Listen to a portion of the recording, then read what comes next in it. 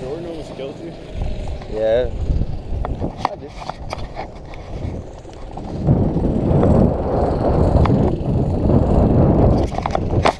What you doing,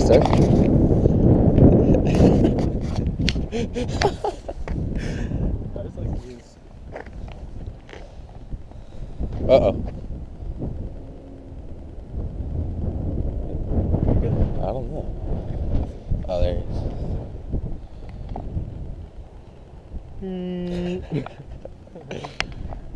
Every time there's a camera, Wait. stupid.